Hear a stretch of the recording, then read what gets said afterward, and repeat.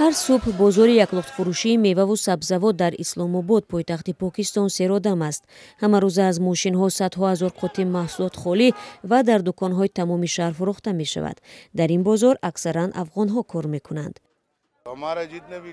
тамоми кори мо ба бародарони афғонамон вобаста аст нафароне ҳастанд ки маҳсулотро харида дар дигар ҷо мефурӯхтанд тахминан 77 дарсади кормандоне ки ба тиҷорат дар ин ҷо машғуланд афғонҳо мебошанд аммо вазъият тағйир меёбад. Ҳукумати покистон ба афғонҳое ки бидуни ҳуҷҷатҳои дахлдор иқома доранд дастур додааст то 31 октябр ихтиёран кишварро тарк кунанд вагарна аз 1 ноябр мавриди таъқиб қарор мегиранд. Ин амр бозорро сард кардааст.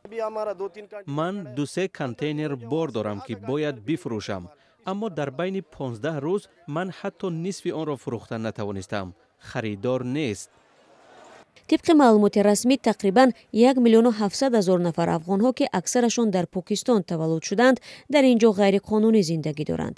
Мақомот мегӯянд дар ду моҳи охир ҳудуди 200 ҳазор нафар аз тарси таъқиб кишварро тарк карданд.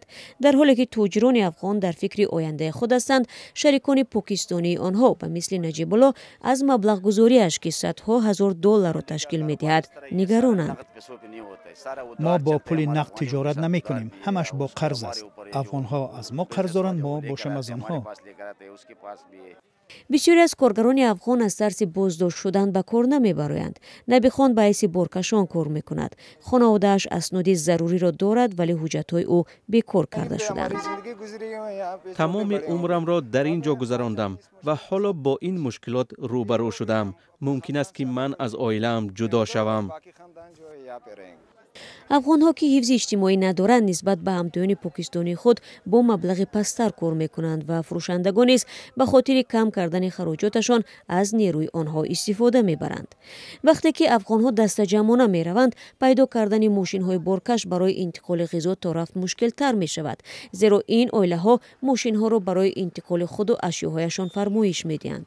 Бо афзоиши суръати хуруҷи афғонҳо соҳибкорони покистонӣ ба халали ҷиддӣ ворид шудан ба корашон خودشون آمادگی می گیرند. من خوبم را گم کردم. در فکر آن هستم که اگر افغان ها بیروند پولم را از دیگر کشور چگونه برمیگردانم.